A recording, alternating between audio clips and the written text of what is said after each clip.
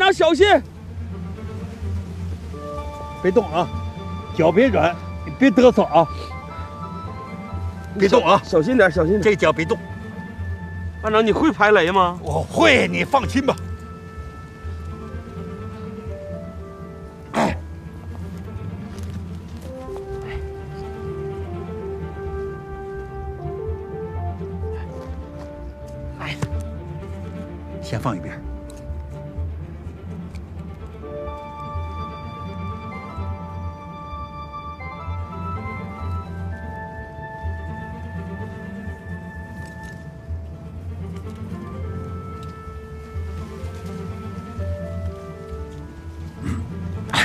你踩住，我踩住了。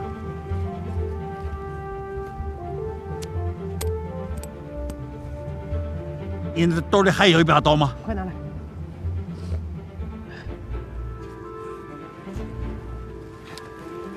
脚别动啊，脚别动。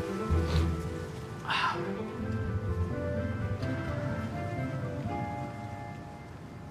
好，插他脚底下就行了。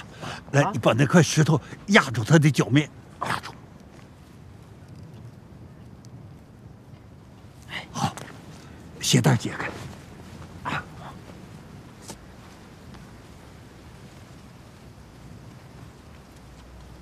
你把身子力量都压在这个石头上，压住他的鞋后跟咱俩压着啊！我喊一二三，你就瞬间抬脚，不行吧？行行行啊！来，一、二、三，别动，好啊，没事没事没事，能松手吗？可以可以，没事没事没事，别动了啊！一点都别动，能松手了吗？一点都别动。好，快走，班长，快走！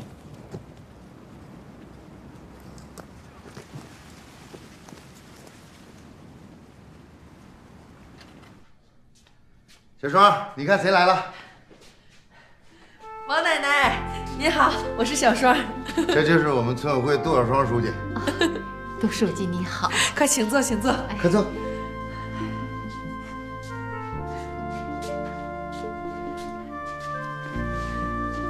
王奶奶，赶了那么长时间的路，累了吧？不累不累，赶紧去带我见那个我老战友啊！您先别着急，呃，我先简单给您介绍一下朱爷爷的情况。那个小双，呃，朱大爷的病呢，我跟我阿姨都说了，都跟我说了。那好，朱爷爷吧，虽然病情还是会反复，但最近这段时间挺稳定的，我就想把您请过来，让你们老战友见见面。让朱爷爷也高兴高兴，太好了！你们帮我找到我失散多年的老战友，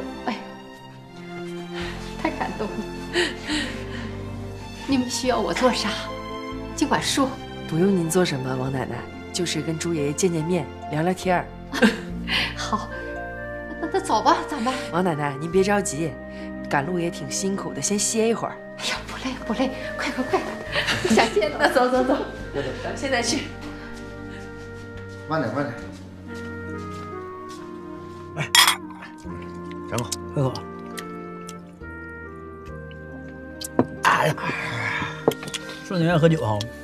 还行，找点用。我媳妇老管我，我媳妇给我打电话，问我啥时候回来，我说我不回去。你就别你这么说，回去别收拾你。我跟你说，就现在，他惹我，我都容易揍他，我都有点嘚瑟了。该说不说啊，那场丛林战表现真不错。我跟你们说啊，就那三班班长，真是个茬子。那干啥？人家本身就练这个的。你看他干瘦了，哎呦我的妈，那技巧给你使的，给我踹完了都。那才哪到哪呀？这是你看到的，我在那三班待着，我是知道。背后的晚上半夜练的功夫都吓人，刷刷刷刷，你根本看不清。但是我认为一个人必须得有意志力，你知道不？这你做到了。我后期真意志了。反正也不是你一个人意志，还有王开山呢。可叫他一声，他先哎，可别叫了，他喝完酒闹事儿，就给他留几个花生粒儿就完了。他还不如我呢，他说跑，完我俩就跑了。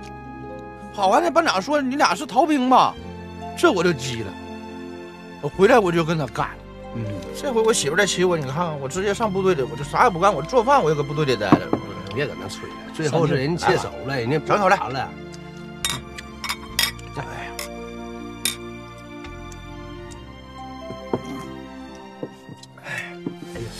时间还没有信儿呢，不能出啥问题吧？你出啥问题？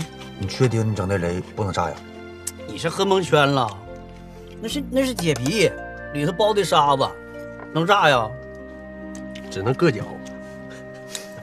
那雷只能往脑袋顶雷，能雷着。正常，那老爷子那么大岁数了，能那么灵敏吗？哎呀，跟朱爷人待不够，那种精神啊，都值得我们学习。我就感觉，就这段时间你搁部队里练的，再听朱爷爷晚上讲故事，我就感觉我自己就是一个战士了，真的。慢点啊！哎，下坡别别滑摔了。没事。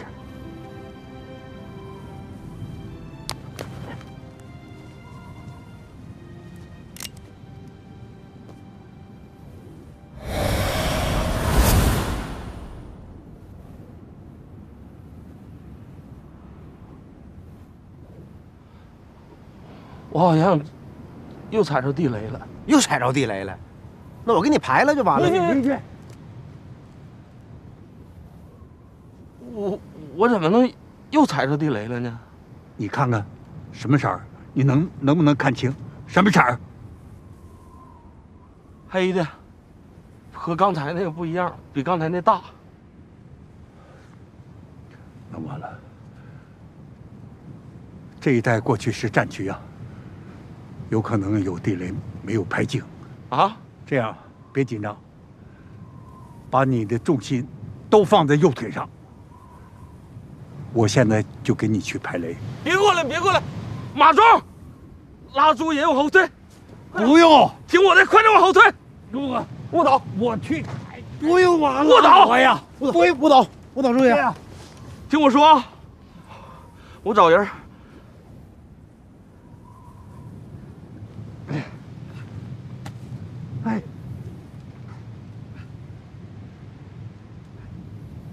马忠，你赶紧带朱爷爷下山，找人救我，快点！走吧，朱爷。不成，我能给你排出雷。朱爷，你听我说呀，刚才那个雷是我自己埋的，那是假的，这个你真排不了，这是真雷呀！真雷我也能排，不成，朱爷，你听我的，朱爷。这样，朱爷，你教我，你告诉我咋排，我就给木生排了。你排不了，现在教你能会吗？你起来，马忠，按住朱爷爷。哎哎。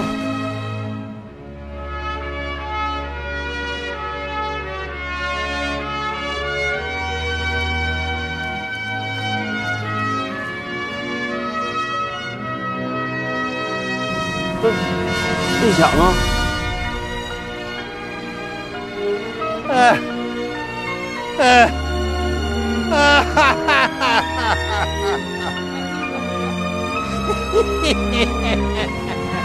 咋的了这是？咋回事啊？哈哈哈！那是我埋的。啊！老头儿，你也太坏了！这老头儿，你俩，哎呀，你俩这么坏呢？都吓死我了！啊，你埋的假的呀？太吓人了！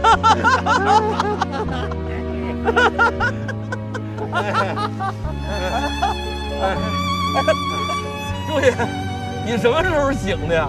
在锦州的时候。我就清醒过来了，是吗？我说后边这段吧，是我陪着你们演的。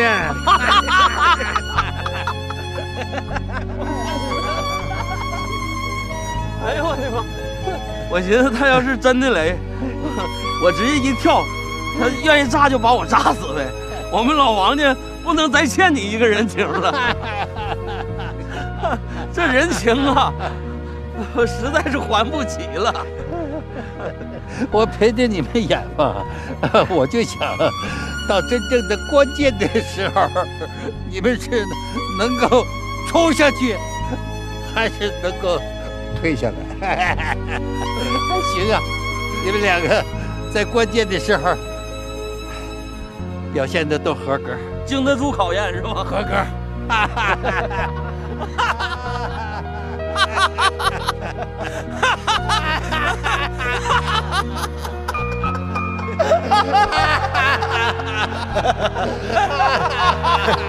这老头儿啊，你太好玩了。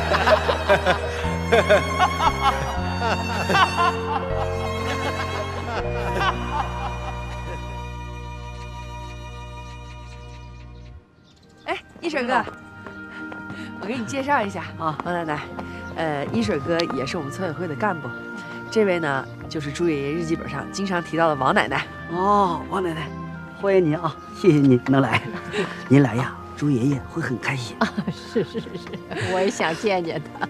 王奶奶，你看这边就是我们按照日记本上恢复的战地医院，看起来怎么样？你还别说哈、还真挺像。啊，不过我们那个当时那个战地卫生所呀，那帐篷可没这个好。我们那个四处都漏窟窿，这一抬头都能看见敌机飞。王奶奶，您是老英雄，也是专家。你看对这战地布置啊，哎，我们哪有不足，你给我们指正一下，好改进。我呀，还真得给你提点意见。啊，你看这，看啊，这个明火啊，不能放在外头，是吧？咱呢，我们那时候都搁山洞里头，完了呢，搁那里头点着火，这敌机啊，它看不着烟儿，它就不能扔炸弹。它要有冒烟的话，它一扔炸弹，咱战士不得受伤了吗？你说是不？这行。一水，杨总呢？在屋里呢。啊，那咱们上那个指挥所。啊好，好了，那我就忙我的了啊。啊，你看这还有纸袋箱子，假的。哪整的？王奶奶，慢点，慢点。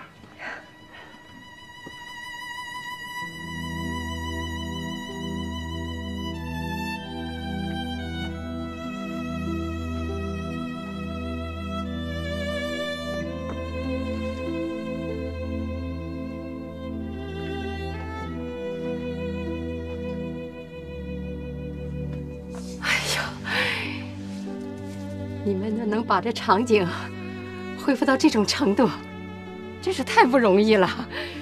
哎呀，可像我们当时战场上那个战地医院，王奶奶，哎，我给您介绍一下，这位就是我刚刚提到过的杨总。啊你好，王阿姨。小杨你好，哎您快请坐，王阿姨。对，快坐。王阿姨，您真是太年轻了，精神状态这么好。哎呀，不年轻了，老了。你看这头发都白了。王阿姨，您的事儿啊，我都知道，因为朱大爷有个日记本，日记本里写着好多你的事迹呢。这朱永群还把我写日记里去了。是啊，写了好多呢。朱，你看看，真是的。啊，王阿姨，您看我们这儿恢复的怎么样？太好了，太像了。我看着这个药箱，就像我当年背的那个药箱一模一样。你们都搁哪淘回来的？你说？我们这有些东西都是假的。对，有一些是借的，还有一些是自己做的。对，假的太真了，太逼真了。哎呀，你们这么多人能帮助老朱恢复记忆，真是太难得了。王阿姨，我跟您说吧，朱大爷是我们家的大恩人，我爱人呢叫王大拿，我爱人的父亲呢叫王大愣，是朱大爷的战友。王大愣啊，我认识啊。当年朱永群就是为了救王大愣受的伤啊。对，那王大愣现在咋样了？啊，现在不在了，没了。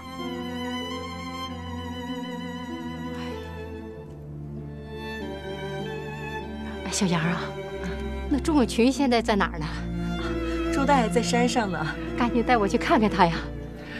您就别去了，在这儿等吧，山上的路不好走。对了，王奶奶，他们一会儿就能回来了。哦，好。王阿姨，既然您来了，我想求您一件事儿。啥求不求的，孩子，你有啥事儿你就说。嗯，我想给朱大爷一个惊喜。啥惊喜啊？我想让您也穿上我这身衣服，然后在这样的一个场景下和朱大爷见面。啊，让我也换上这样的衣服，然后呢，让我也回到过去。对，这个太好了。对，我穿上这样衣服，让朱永群看看他能不能认识我。那肯定能认识。好了，这个这个办法挺好的。